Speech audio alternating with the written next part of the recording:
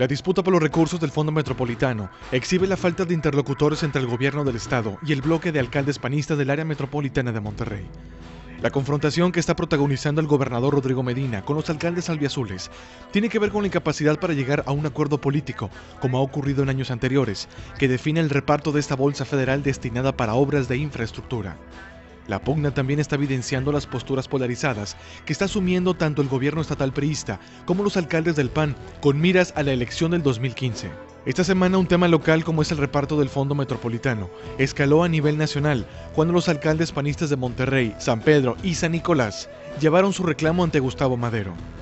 El líder del PAN incluyó la exigencia de los ediles albiazules de Nuevo León en la mesa de negociaciones para reactivar el Pacto por México con el presidente Enrique Peña Nieto.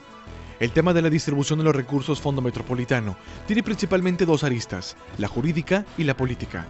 A diferencia de años anteriores, el Estado decidió este año unilateralmente la distribución de los 759 millones de pesos asignados para el Estado vía el Fondo Metropolitano, incluido en el presupuesto federal. Los recursos se pretenden destinar a obras estatales con alcance metropolitano, como es la línea 3 del metro y el sistema de transporte Ecovía. Desde el 2010 y hasta el año pasado, estuvo vigente un acuerdo político que existía entre el gobernador y los alcaldes para que el 66% de los recursos del fondo se destinaran a municipios y el resto al Estado.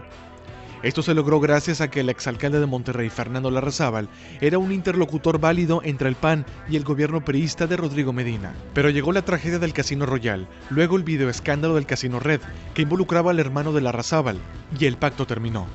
En la actualidad, ni el Estado ni en los municipios existen interlocutores válidos y confiables para concretar una negociación como la distribución de los recursos del Fondo Metropolitano. El gabinete estatal de Medina exhibe falta de cohesión y conducción, principalmente por la rivalidad que existe entre el secretario general de gobierno, Álvaro Ibarra, y Jorge Domene, jefe de la oficina ejecutiva de la gubernatura y vocero estatal.